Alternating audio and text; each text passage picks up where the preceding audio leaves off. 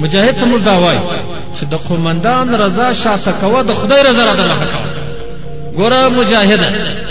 په دې باندې نه خلاصېږي چې قومندان درته وایي چې داسې وکړه تر څو پورې چې د الله رضا پکښې کې نه د الله حکم پکښې کې نه پر تا باندې د دغه قومندان امر نه دی واجب اطاعت یې نسته انما طاعت فی معروف لا طاعت لمخلوق فی معصیت الخالق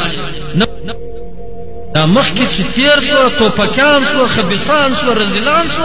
هغو د امیرانو رضا د خدای د رضا قومیت کې استعمالول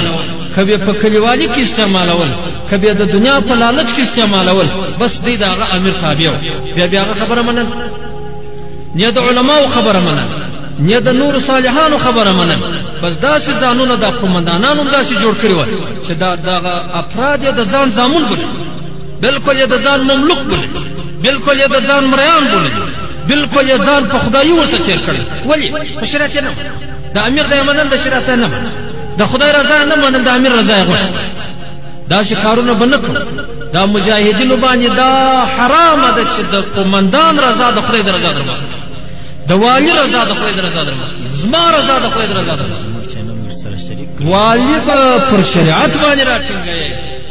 قومندان به پر شریعت به دا به ورته وایه چې قومندانه که پر شریعت باندې برابر وې زه ستا سره ملګری که در شریعت باندې نه وې برابر بیا زه ستا ملګری نه